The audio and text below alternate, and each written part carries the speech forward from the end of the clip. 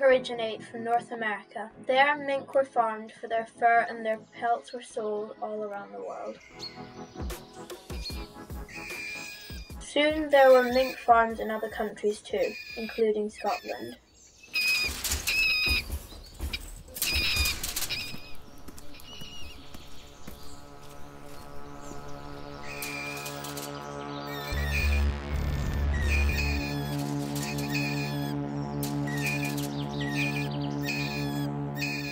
Farmed mink were slaughtered and skinned. Their pelts were turned into expensive fur coats. Rich people bought glossy mink coats that went down to the floor.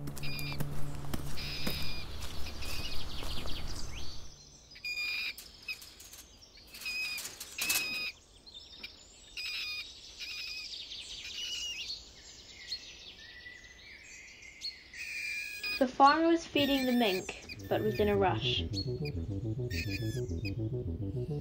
She accidentally left the cage unlocked.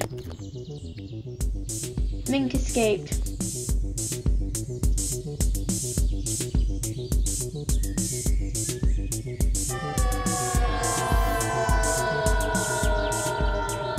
Some of them couldn't survive because they didn't find the right habitat, but a lot of them managed to find suitable homes. Rivers, streams, lochs, or burns. They escaped from mink farms all around Scotland.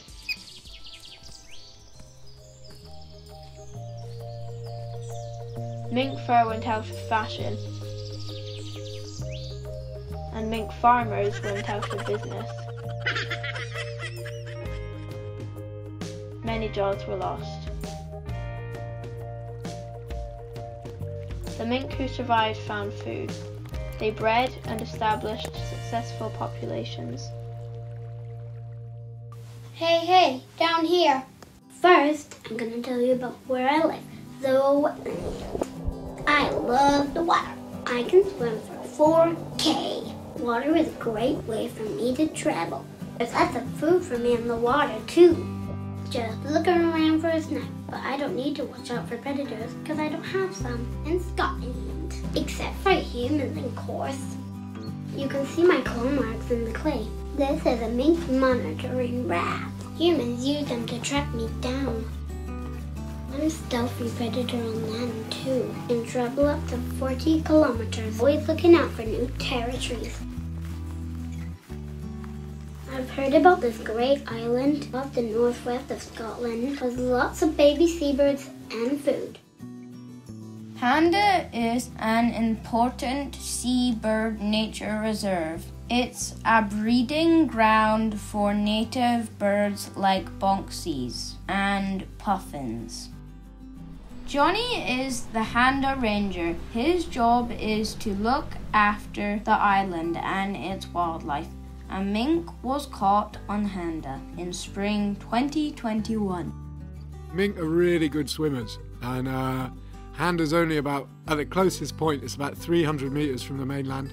So mink can swim about four kilometres, so 300 metres isn't too difficult for the mink. So we think it probably sw swam across. We only found one mink, uh, and we had the traps out, and we had various techniques. We have clay pads across the island which leave footprints, and we caught the one mink and we left the traps out for another two and a half weeks, and we didn't see any other evidence. So, fingers crossed and toes crossed that it was just one mink and it didn't breed. They tend to use dead logs. If they have big holes in, logs with holes in, they'll go in there, or any kind of small space. I'm sure if they found an empty rabbit burrow, they would like that as well. But anything kind of close to fresh water and uh, and kind of a small narrow space, they will they will utilise as their home.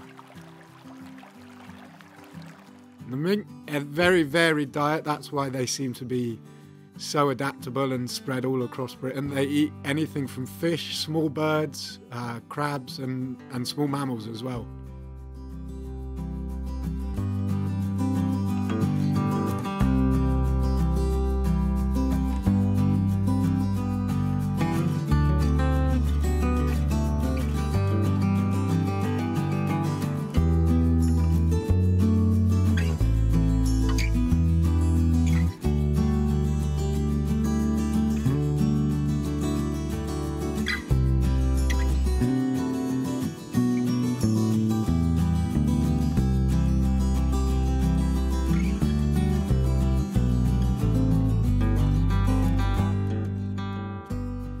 This is Xavier Lambin from the University of Aberdeen. He helped us find out more about how mink are disturbing our watervole populations.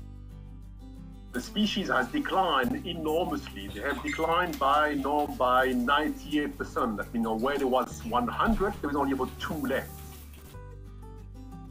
The problem with American mink is that um, no, the water voles are too big. So that means the, the, the way the water voles are escaping a predator, they either go and jump in the water and they kick the silt uh, in, the, in the river, and that makes a cloud in the water, and the mink, normally things cannot catch them. Or they run into their burrows. And normally the burrows is a safe place for them to be. But they're such big uh, rodent, or they're really quite big, uh, that the female of the American mink can enter in their burrows. And uh, they can catch them very easily. And mink are kind of uh, an interesting animal because they not only kill what they have to eat today, but they also make reserves for tomorrow. So when a mink arrive in a place where there is say 20 water voles, or mother, the father, and a few offspring, a female mink can kill them all in two or three days. And then she stores them in her den or on the stone. And know that so so efficient, so good at catching them, that the water voles really have no chance against that species. It's really important that people keep monitoring and culling American mink to protect our native wildlife populations.